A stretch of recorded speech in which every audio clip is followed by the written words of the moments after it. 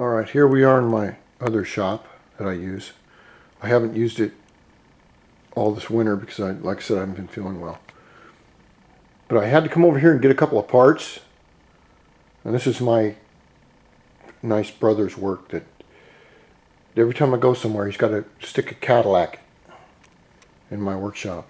Anyway, what I did was I had to come over here and get some parts and I wanted to show you my other bike here but it's not the bike I want to show you like I was in the earlier videos I showed you that this license tab right here that you have to buy once a year for these bikes in this state they send you a little letter stating you have to buy the the next uh, up year date.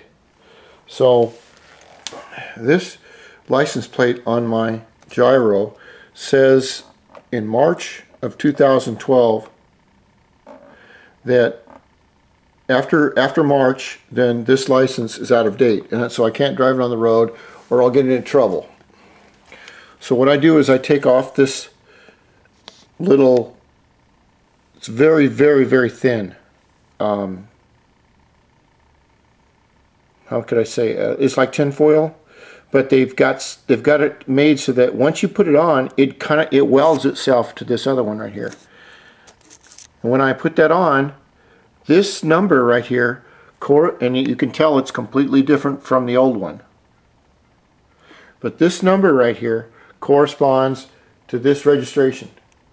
And like uh, the registration that I have with the bike right now, and you're required to carry the registration on you. Most of the times, unless there's a big problem, the cops aren't going to ask you about that.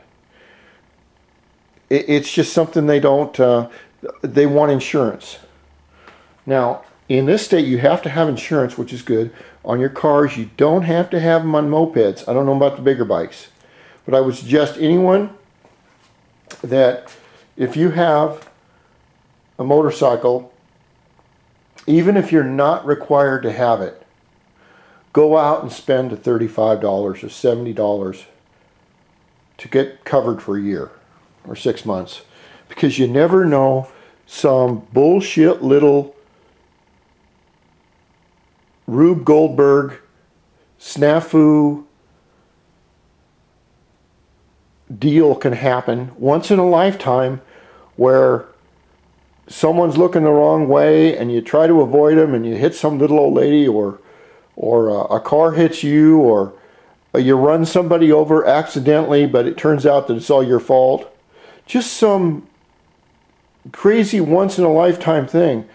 It's better to be covered. And motorcycle insurance is not that expensive. So even if you drive a moped and it does 20 or 30 miles an hour just cover your ass 10 ways to Sunday because it'll it'll really wreck your day if, if you're to blame for something. And you thought damn I should have just bought the insurance just in case. So what I'll do is I'll put this on here stick it on here and I will um, carry that registration on the bike with me and then I'll be okay to drive it that's one part but I also need um, insurance. So I just want to show you how we do it in this state in the United States. I don't know how they do it in other states, but this is for um, Serpenza in in China because he had some pretty cool license plates, and I don't know how they do it over there. All right.